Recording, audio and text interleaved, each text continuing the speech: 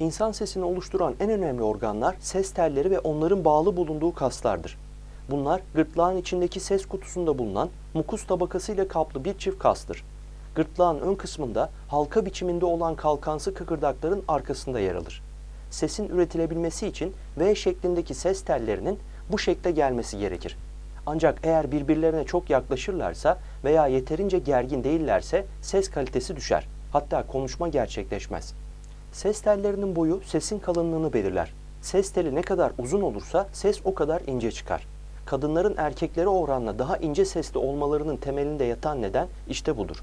Çünkü kadınların ses telleri erkeklerin ses tellerinden daha uzundur. İnsan dışında hiçbir canlının sesini dinleyerek onun cinsiyeti ayırt edilemez. İnsan ise bu açıdan farklıdır. Konuştuğumuz insanı görmesek bile ses tonundan onun kadın mı yoksa erkek mi olduğunu hemen anlayabiliriz. Bu elbette Yüce Allah'ın insanlara bahşettiği çok özel bir detaydır. Ses tellerinin ses çıkarabilmesi için aralarındaki mesafe, uzunluk, gerilim gibi birçok özelliğinin çok ince düşünülmesi ve hesaplanması gerekir. Sadece ses telindeki bu detaylar düşünüldüğünde bunların tesadüfen oluştuğunu iddia etmek elbette ki imkansızdır.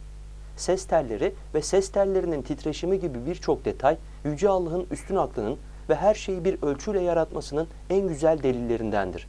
Yüce Allah bu gerçeği bir Kur'an ayetinde şöyle haber vermiştir.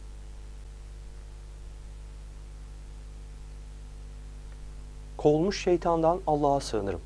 Onun katında her şey bir miktar ölçü iledir. Rad suresi 8